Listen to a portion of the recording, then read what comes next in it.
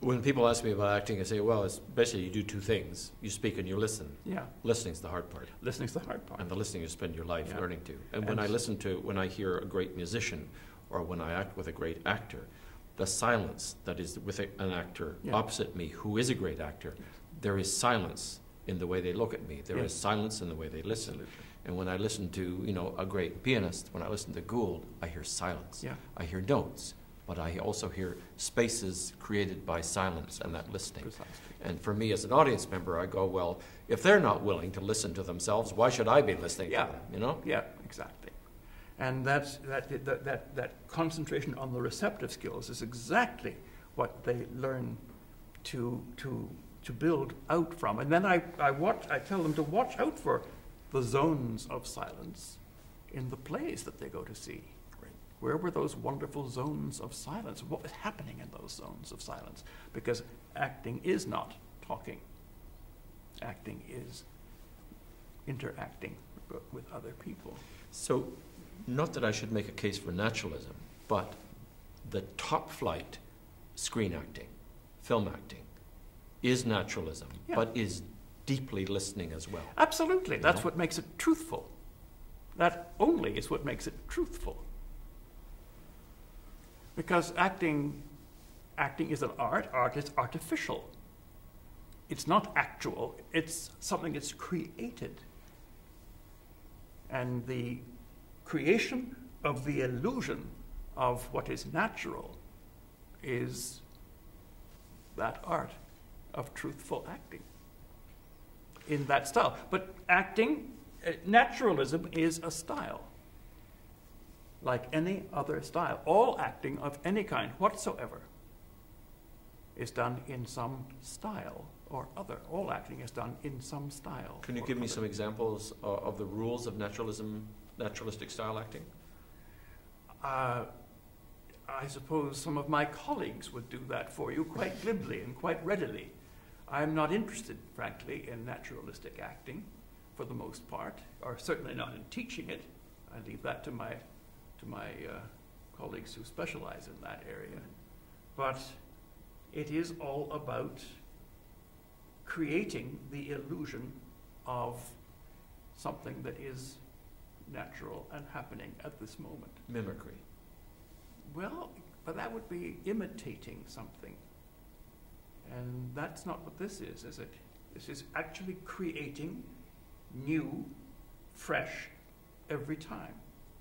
Discovering it all over again, all over again, every single time.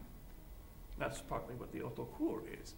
That you find something that, that happens that's striking, that's wonderful, that's exciting, or something that you want to explore a little more,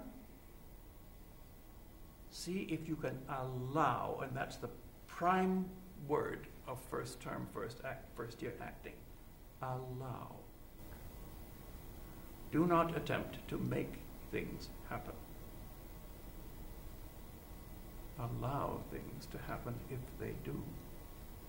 And if they do, how can you feed more into it? How can you allow more to happen the second time? Now, the style of naturalism came as a reaction to a style of acting that wasn't working before that. That had worked brilliantly, but had become tired, abused, and empty. And we're talking about Uh, well, about high romantic acting, about what had become of great rhetorical acting over a couple of centuries, and had now become empty bombast, as Shakespeare says, sawing the air with your hand thus. And we're talking the end of the 19th century, 1880s, 1890s, 1900s. Um, 70s, uh, but it didn't happen all at once. Um, a lot of the great rhetorical acting uh, persisted well into the 20th century. I see it on the stages today. Well, that's maybe that's what you call ham acting, but no, uh, the real the real rhetorical acting. I have can you define rhetorical acting? yeah, it's acting in a very elevated style, in which all of the human values are uh, expanded to epic proportions. But how do you do that then? Do you sing with the voice? Uh, you certainly need all of your faculties to be highly trained. Yes. But is rhetorical acting about truth, or is it about an about truth. elevation of style? all acting is about truth. You elevate the style, and you still have the truth. That's the, that's the trick. How far can you go? How big can you go and remain connected? But I remember as a young actor seeing the remains of rhetorical acting and went, don't want to do that. I don't believe it. I Yeah. don't like it. It doesn't connect with me. I don't want to do it. Because it was empty. It may have been empty, but I'm just wondering, I was unable to connect to what truth there was in it. It may have been mostly empty, but there was some truth in it, and I was unable to connect to that delivery of truth At that point in your life, perhaps. at that point in my life. Yeah, yeah. Um, it was, as I say to my kids in first year, acting uh, in any any form, all acting is done in a style. Naturalism is a style, like any other, and it's just as capable as any other of routine, of cliche, of falling into decay.